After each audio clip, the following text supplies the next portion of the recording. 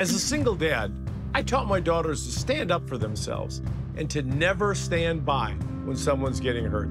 And here's the truth Joe Lombardo would hurt Nevada.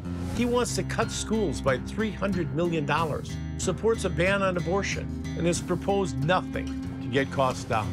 Instead of that, I've invested in childcare, housing, free school lunches, and refused to raise taxes on Nevadans.